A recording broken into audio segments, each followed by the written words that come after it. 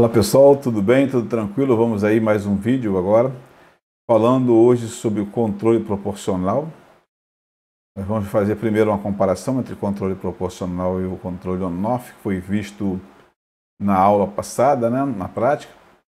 Antes eu vou fazer uma pequena divulgação aqui é, sobre os nossos cursos online, inversores de frequência, controladores lógicos programáveis e instrumentação e controle. Então, os nossos cursos estão sendo oferecidos aí para os nossos internautas, para quem é inscrito no canal, né? É, com 50% de desconto. E para conseguir o cupom de desconto é só entrar em contato por e-mail com a gente. E o nosso e-mail está aí na descrição desse vídeo que vocês estão, estão vendo, né? E daí faz o contato, a gente faz contato com vocês, passa um telefone, passa um WhatsApp, e daí então a gente consegue chegar a, a enviar o cupom e vocês têm direito ao desconto de 50%. É simples assim. É, quero lembrar também que os nossos cursos estão sendo muito bem avaliados. Quem quiser, por exemplo, dar uma olhada no Google para um, ver as avaliações, é interessante saber. Né? Você vai, só vai comprar aquilo que realmente for interessante. E vamos começar então a falar do nosso sistema de controle, né?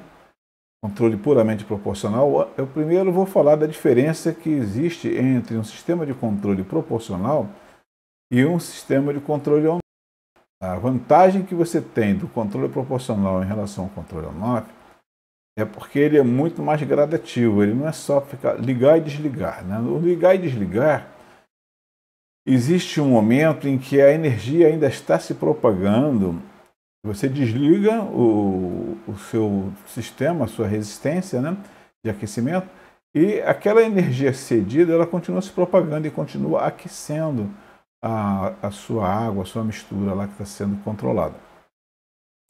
No controle proporcional, isso já não acontece assim. Em vez de você cortar a energia de uma forma repentina, à medida em que o sensor vai percebendo o aumento da, da temperatura, ele já vai dizendo para o controlador o seguinte: olha, é, começa a reduzir a transferência de energia para a resistência para que a gente consiga manter esse controle. Então ele é mais cirúrgico, vamos dizer, ele é mais gradativo em relação ao controle on-off. E aí vocês vão ver no nosso diagrama de blocos que está aí presente, o cérebro do nosso sistema de controle, que é o controlador, né? É, o controlador ele tem a missão de receber a informação do elemento sensor, comparar com o valor desejado, que é o valor que você coloca lá, que é o set point. Então você vai ter que definir qual o valor que você quer que controle, ele vai comparar com o set point, vai extrair um erro, porque a variável de processo é comparada ao valor desejado, que é o set point. A diferença é o erro. Então é, é retirado dentro do controlador, é feita essa operação e é extraído então o erro. O erro ele vai ser amplificado pelo ganho. O ganho é um parâmetro que você também coloca no controlador. É um dos parâmetros que você utiliza no controlador para fazer a tua estratégia, a tua, vamos dizer assim, a tua configuração do, do sistema de controle que você deseja fazer. Tem que dar um ganho, sim. Esse ganho ele tem que ser um ganho calculado. Ele não pode ser muito elevado nem muito baixo dependendo do processo, você vai fazendo os experimentos e vai observando o que se é o ganho que você forneceu foi um ganho bom, se, se precisa aumentar um pouquinho mais. Então, isso nós chamamos de sintonia. Nessa figura, vocês vão ver o elemento sensor, que está sendo apontado pela setinha verde, o elemento transmissor, que vai pegar o sinal medido, transformar no padrão 0 a 10 volts, no nosso caso aqui da, do laboratório que a gente tem aqui, da, da nossa experiência. Esse padrão 0 a 10 vai chegar na entrada analógica do CLP. E dentro do CLP eu tenho o que? Eu tenho um programa. E esse programa é o nosso controlador. Esse programa vai fazer isso, vai pegar a diferença entre o valor desejado e o valor medido, vai extrair o erro e vai multiplicar por um fator. Esse valor, esse fator que a gente chama de ganho, ele é adimensional, ele não tem dimensão, ele é um número. Você pega, simplesmente multiplica o erro por ele e transforma ele numa saída. Essa saída nós também chamamos de ação corretiva. É essa saída que vai atuar no processo. Então vocês estão vendo aí o processo apontado aí com essa setinha verde. O nosso processo nada mais é do que um tanque de água sendo aquecido por uma resistência. E a saída do controlador, ela está agindo, ela está ligando ou desligando a resistência, não mais como um controle on-off, mas sim como um controle proporcional, porque nós vamos ligar e desligar sim, mas baseado na, no, no padrão PWM. O que, que é esse padrão de, de fornecimento de ação corretiva?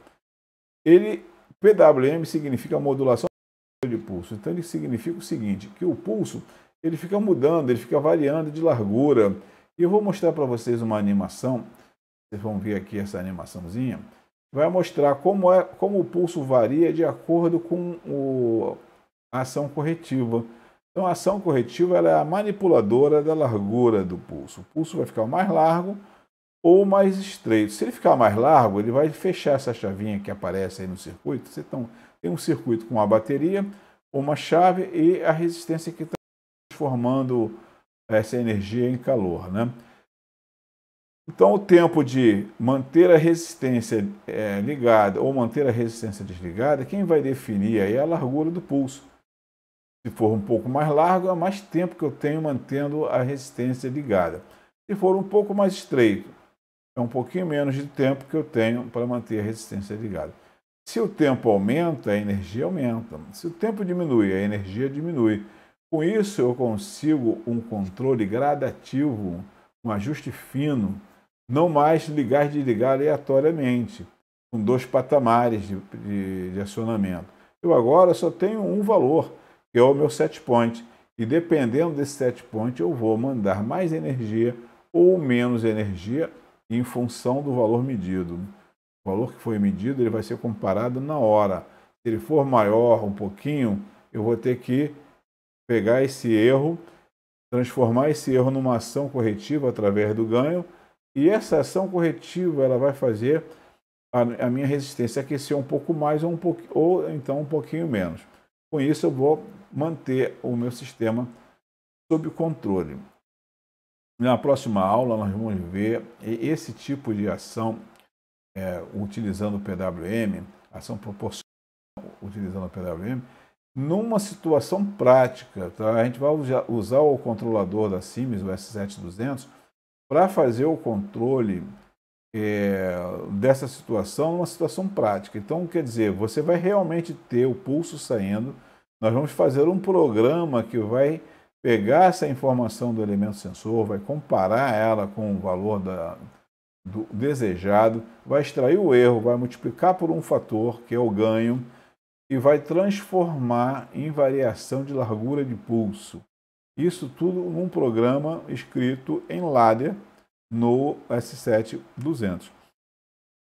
Muita gente não sabe fazer esse tipo de, de, de estratégia, né?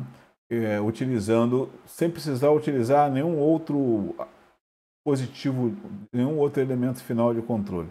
Basta um, um contato na saída digital do CLP. Você não vai nem usar a saída analógica. Você vai usar uma saída digital, ela vai ficar ligando e desligando a resistência, mas de uma forma padronizada, de uma forma modulada, gradativa. E com isso, então, você consegue fazer o controle puramente proporcional. Certo, gente? Então, eu vou agradecer muito a atenção de vocês.